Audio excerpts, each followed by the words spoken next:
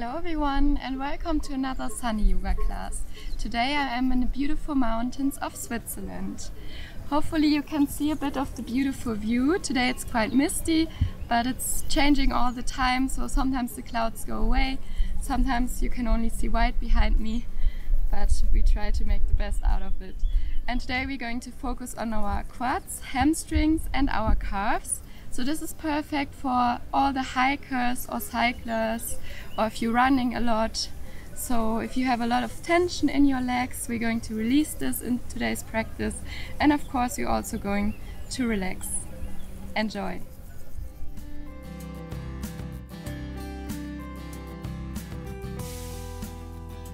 Start sitting on your heels, interlacing your fingers behind your back.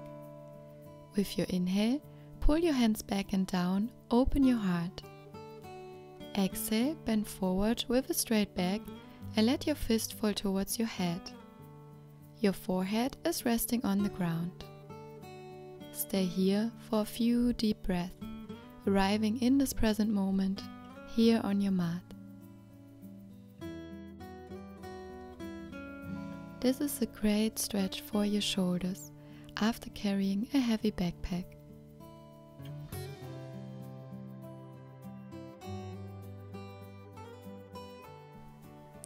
With your next exhale, slowly separate your fingers and stretch your arms to the front.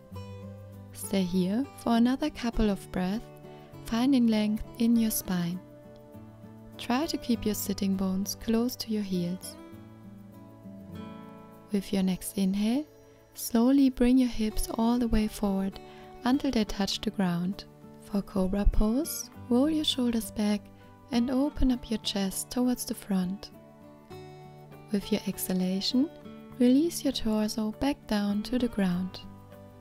Bend your left knee and with your left hand reach for your foot and press your foot down towards your glute. Stay here for a few deep breaths, feeling the nice stretch in your left quadriceps.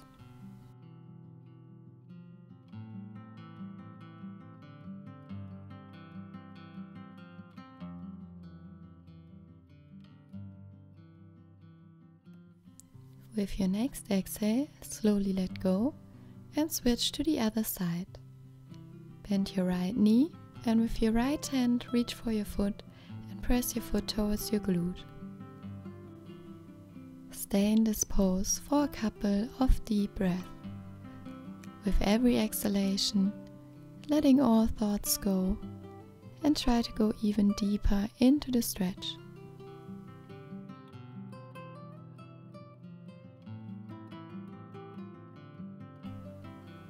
Then slowly release your leg back to the ground, place both hands underneath your shoulders, tuck your toes and move your hips back towards your heels.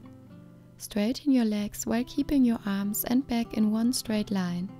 Come into your first downward facing dog. You can also keep your knees bent, it is most important that your back is straight. Now start to bend one knee at a time pressing the opposite heel into the ground. Try to move with your breath and keep the length in your spine.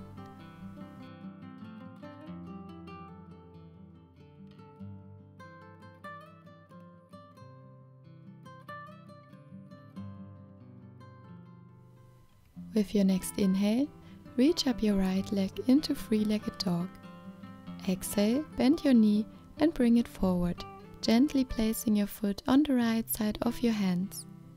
Lower your back knee for lizard pose.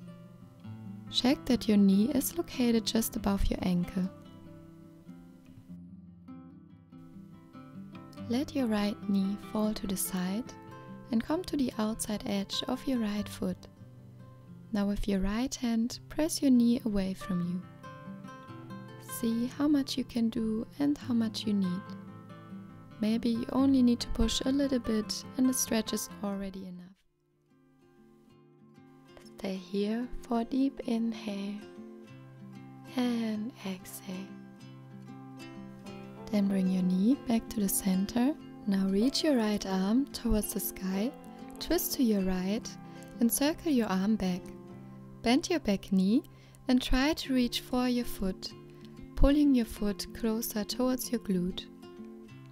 If this is not possible for you, don't worry, just stay in the previous pose.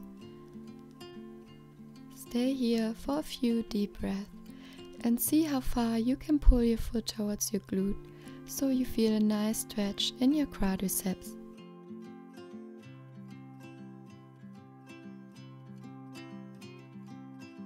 Now slowly let go of your foot and bring your hand back to the front.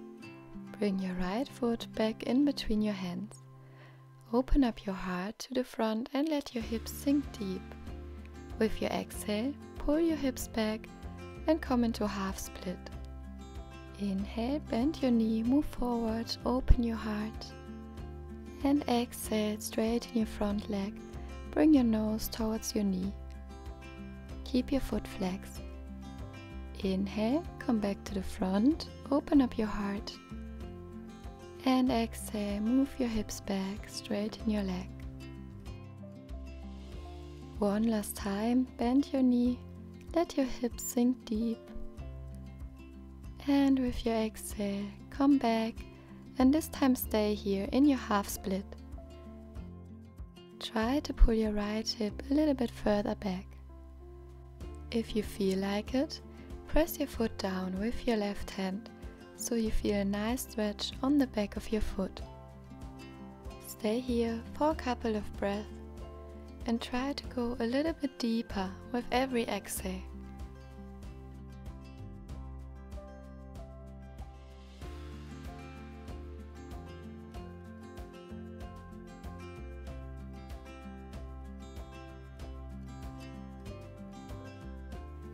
Then release your foot, bring your hands back underneath your shoulders and pull your hips all the way back until you sit next to your left heel.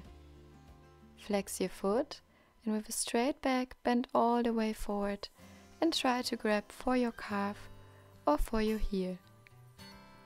Breathe deeply into the stretch of your hamstrings and allow your body to go deeper with every exhale. Let go of all thoughts.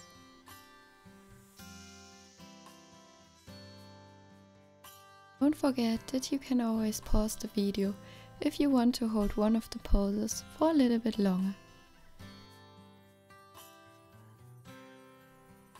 Then slowly walk your way back up step by step and move your hands behind your back.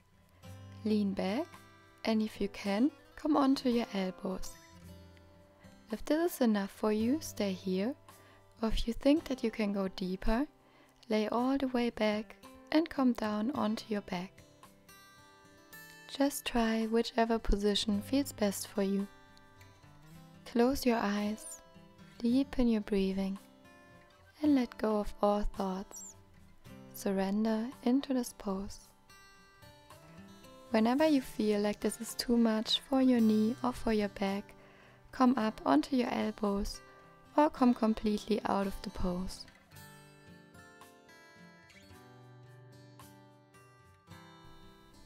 If you are still in the pose, slowly come out now and walk your hands towards your front foot.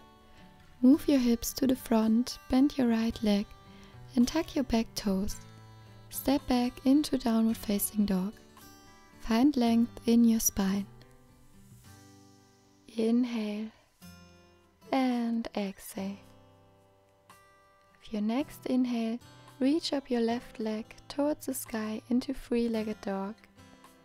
Exhale, bend your knee, bring your foot forward and place it gently on the left side of your hands. Lower your back knee for lizard pose and keep the length in your spine. Your knee should be just above your ankle. Let your left knee fall to the side and come to the outside edge of your foot. With your left hand, press away your knee. You can also twist your upper body a little bit to the left side. See how much pressure feels good for you. Close your eyes and breathe deeply into this great hip opening pose.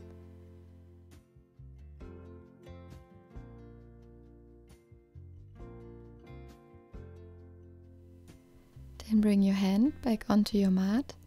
Bring your knee back to the center and now circle your left arm back and try to bend your right knee. Try to reach for your foot and pull your foot closer towards your glute. Be very mindful here and only go as deep as it still feels good for you. If you can't reach for your foot, it is no problem at all, then just stay in the previous pose or in lizard pose.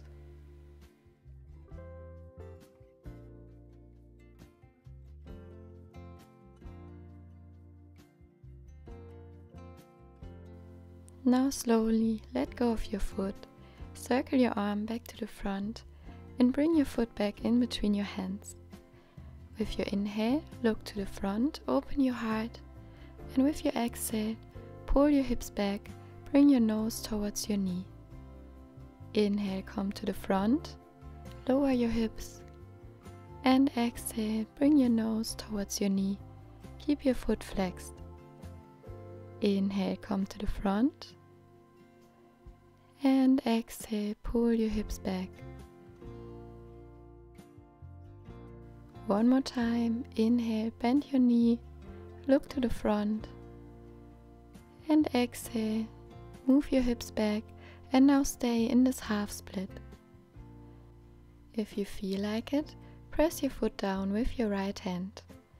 Feel a nice stretch on the back of your foot. Try to pull your left hip a little bit further back. And with every exhale, go a little bit deeper into the stretch.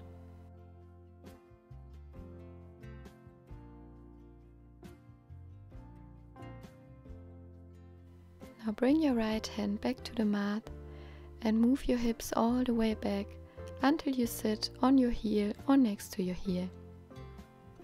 Keep your left foot flexed and now with a straight back, bend all the way forward and try to reach for either your calf or your foot.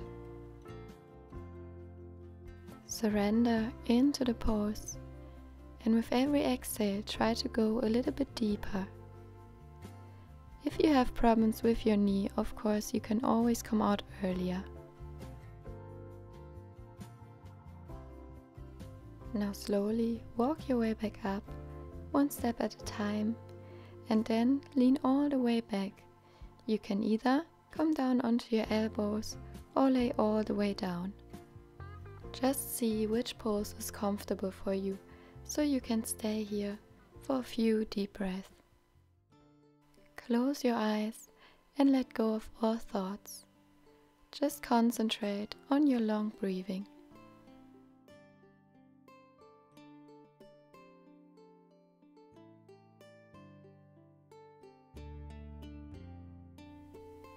Slowly and mindfully come out of the pose by first coming onto your forearms and then come all the way up.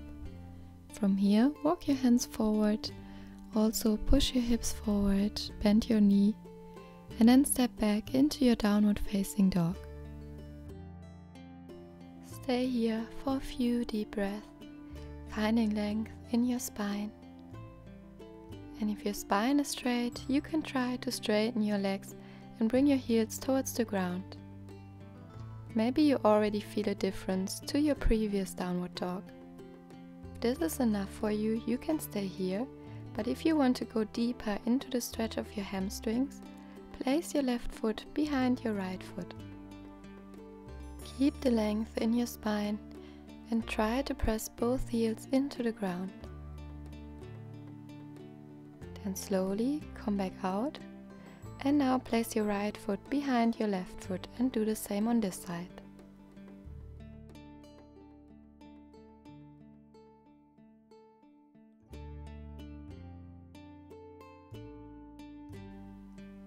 Step back into your downward facing dog.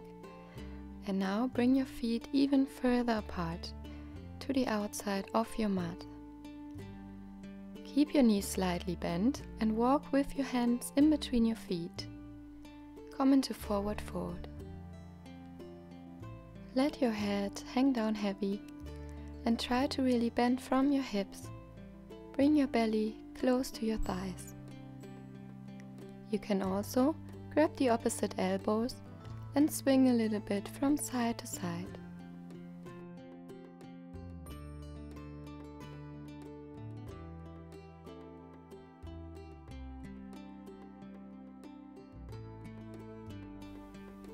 If you want to try to go even deeper, let go of your elbows and try to walk with your hands in between your feet. Try to hold at your deepest point. With your next exhale, slowly let go and then vertebrae by vertebrae come all the way up. Your head comes up last. Now step to the front of your mat and from here step your right foot back so your feet are about 3 feet apart. Both legs are straight and your feet are facing the front. From here, with a straight back, bend forward from your hips. Bring your hands to the ground. Try to go a little bit deeper with every exhale.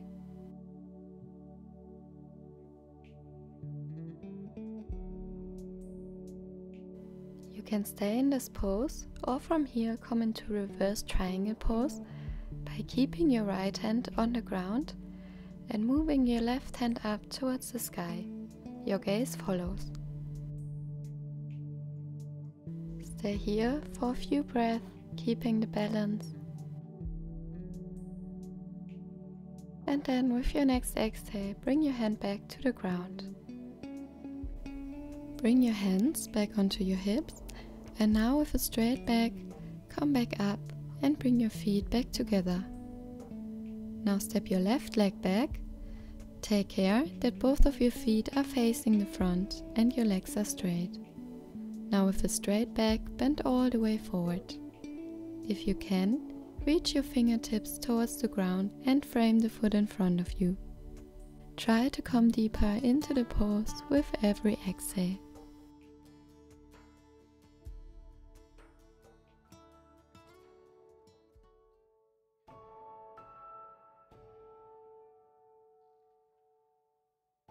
For reverse triangle pose, this time leave your left hand on the ground and your right hand reaches up towards the sky.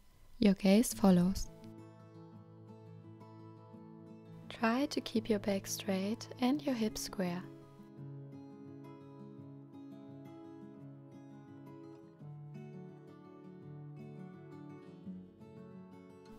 With your next exhale, bring your right hand back to the ground and step your left leg forward into forward fold. You can keep your knees slightly bent. Let your head hang down heavy and try to really keep the length in your spine, bringing your belly close to your thighs. Then bend your knees, sit down and come onto your back. Now bend both of your knees, bring your hands onto your knees and start to make circles to the outside. Close your eyes and feel the warming up of your hip joints.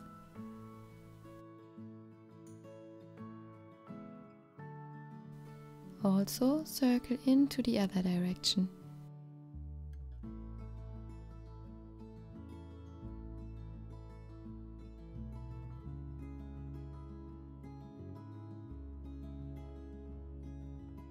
For happy baby pose, pull your knees close towards your chest. You can either hold on to your ankle area or to the outside edge of your feet. Bring your knees into 90 degrees and try to bring them close to the ground while your head and your shoulders stay on the mat. The soles of your feet are facing the sky. Close your eyes.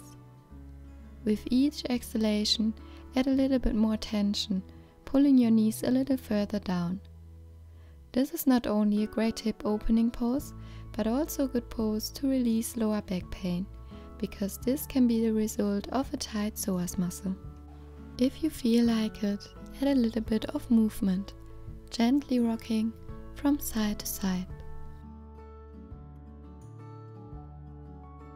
Now you can either stay a little bit longer in this hip opening pose or if you want to go deeper into your hamstring stretch, you can either stay with your hands in your ankle area or grab your big toes. And now try to straighten your legs. Make sure that your shoulders and your head stay on the ground.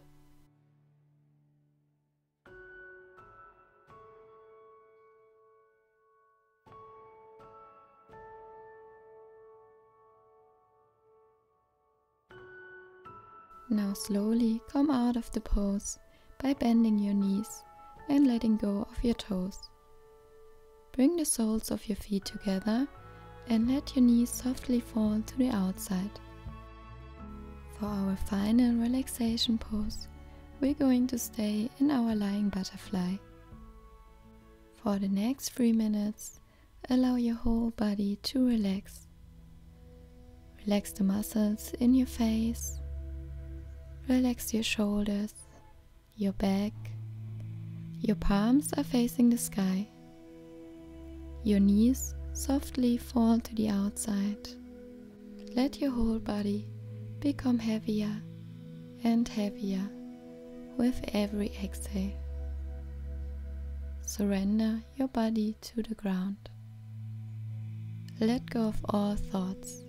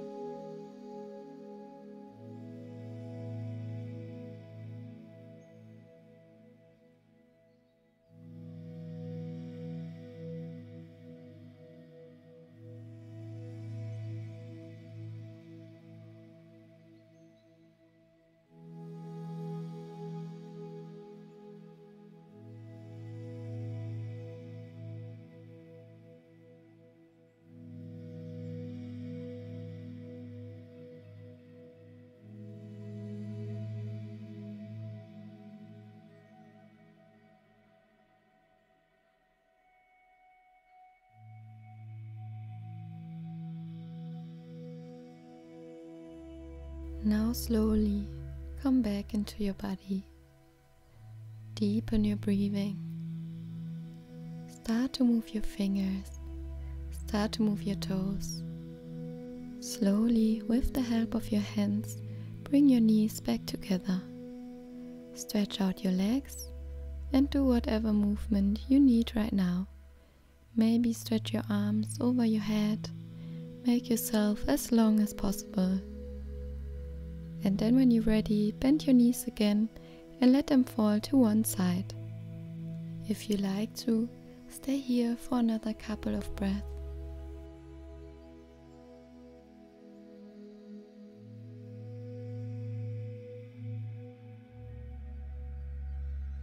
And then when you're ready, press yourself up into a cross-leg position.